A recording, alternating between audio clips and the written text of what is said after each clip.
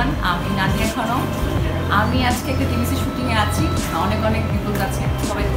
এখন আমি যার সম্পর্কে কথা বলতে যাচ্ছি সেটা হচ্ছে স্টোর মিস স্কাই তারা খুব ট্যালেন্টেড একটা ডান্স গ্রুপের মধ্যে দুজন কোরিওগ্রাফার আমাদের এখানে এসেছে। They are very cool and very much talented মানে আমরা ওদের ডান্স স্টেপ দেখে দেখে মানে ইন্সপায়ার হচ্ছি যে আমরা ওদের সাথে ডান্স করব বা আমরা এবার একটা ক্লিপও বানিয়েছি একটু আগে রিহার্সালের সময়। We have lots of fun মানে you guys have to join them okay মানে আমি সাজেস্ট করছি জয়েন করার জন্য ইভেন আমিও যাচ্ছি ওদের সাথে সুন ডান্স শেখার জন্য যাব।